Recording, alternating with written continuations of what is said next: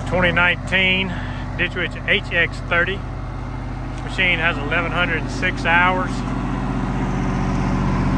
I'm to show you what the water pump's doing.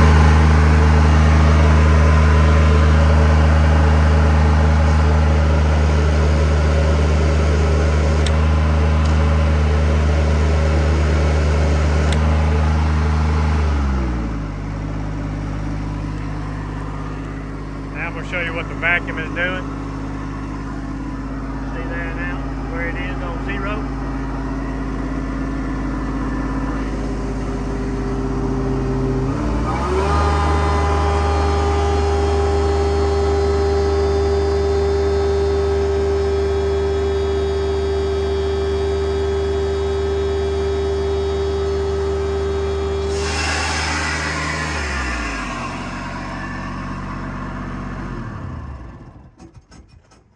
Oh, let me see if I can show you the hours on it right quick on the video.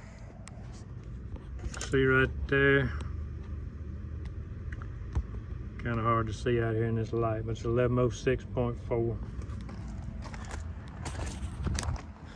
This machine has been through the shop. It's been serviced. Tires are in good condition. It's got a section of hose with it.